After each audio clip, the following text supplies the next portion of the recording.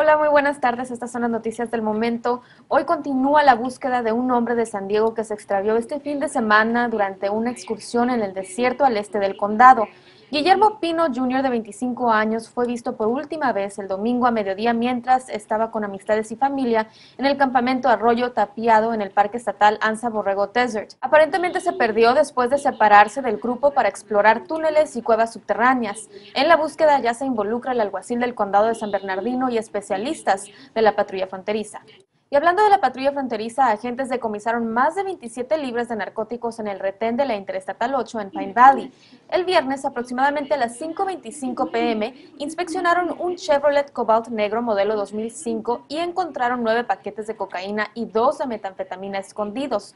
El valor de los narcóticos es de más de 300 mil dólares. La conductora, una ciudadana estadounidense de 25 años de edad, ya tenía un cargo anterior por narcóticos. Y la policía de Oceanside publicó un dibujo hablado de un sospechoso en una balacera.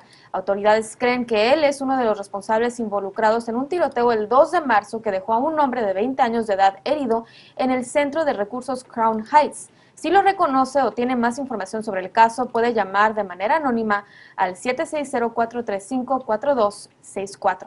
Estas son las noticias del momento. No se pierda nuestro noticiero ya a las 6 y a las 11.